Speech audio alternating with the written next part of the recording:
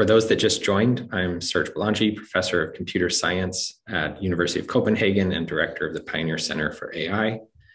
Uh, it's my pleasure to introduce the uh, next speaker, John Denby, the founder and CEO of Streetlogic, a deep technical team that is building a computer vision based e bike collision warning system. Prior to founding Streetlogic, Jonathan advised Uber's NeMo Jump Robotics Group through the development of computer vision systems for jump scooters and was the head of hardware at Rylo, the world's first 360 degrees action sports camera. Please welcome to the virtual stage, John Denby. Hello, I'm Jonathan Denby, founder and CEO over here at Streetlogic. And I'm here to talk to you about transportation, uh, in particular, the most exciting trend in transportation that's happening right now, and it's taking the world by storm. You might think I'm talking about electric cars. I'm not, because while they are fun to drive and they like to take a lot of media attention, electric cars really have yet to have started taking off. But there's another vehicle type out there that is growing much more quickly than the, than the electric car, and that's e-bikes. I'm talking about normal utility vehicles with a battery and a motor like this, or an e-bike for bringing your kids to school, or for doing deliveries around the city, or just for getting yourself to work. Bikes like this have been growing rapidly over the last five to 10 years and are now outselling electric cars by over eight to one. And in some countries, like the Netherlands, they've grown so quickly that now they're the majority bike type sold over 50% of bikes in the Netherlands sold today have some kind of lightweight battery and motor attached. This is awesome. And it makes sense because most trips are short trips. Over 75% of the trips that you do on a daily basis are under 10 miles, which is perfect for a bike. And bikes are the fastest way to move around a city. These are just taken from Google directions in San Francisco. And if you take the current growth curves for e-bikes and project them out five to 10 to 15 years, not only will e-bikes continue to outsell electric cars, but they'll outsell normal cars by over two to one. And this is great. But if we reach this future potential, we'll have a massive problem on our hands because if you ride a mile on an e-bike versus a car, you're 51 times more likely to get into a fatal crash.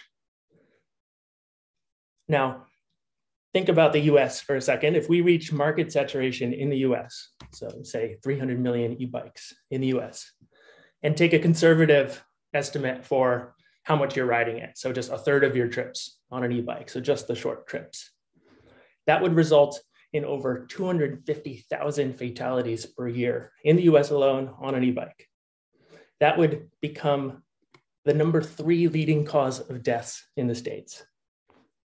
This alone would prevent e-bikes from reaching their true market potential. This alone would prevent e-bikes from becoming a household commodity that's in everybody's garage. Cars went through a similar crisis at the first half of the 20th century. They rose quickly through early adopters, but then stagnated for over three decades. Fortunately, in 1949, Ford started shipping seatbelts standard in all of their automobiles. And that alone was enough to cause an inflection point to resume the growth and vault cars to be the household commodity that we know today. So I've talked a lot about e-bikes, exciting growth up into the right graphs, but like how does computer vision fit into this? Like how does Streetlogic fit into this? It's because here at Streetlogic, we're aimed at making sure that e-bikes have their seatbelt moment. And we're doing that through computer vision. We have a team of self-driving car engineers who left the self-driving car industry because they're more passionate about bikes. And we're taking the smarts, the algorithms, the capabilities of a self-driving car and miniaturizing it, downsizing it, cramming it into a form factor that can fit on an e-bike. And it's a surround view vision system that scans in 360 degrees, 250 million points per second, and can detect the presence of an oncoming vehicle in any direction. So it knows when there's a car rapidly approaching you from the rear, like this. It knows when there's a car from your side about to hook you from the side. And it knows when there's a car stopped ahead of you in the bike lane, so like an Uber or a Lyft, letting somebody out. And in each of these cases, it will give you an early warning, like four to six seconds in advance.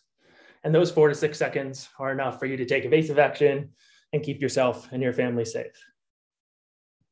So here at Streetlogic, we're aimed at making sure that e-bikes have their seatbelt moment so that they can reach their true market potential over the next 5, 10, 15 years so that when you're riding down the street in 5, 10, 15 years and weaving through a bunch of vehicles, instead of weaving through a herd of cars like this, you'll be joining a multitude of other e-bikers on the road, all cycling forward into a brighter future. Thanks.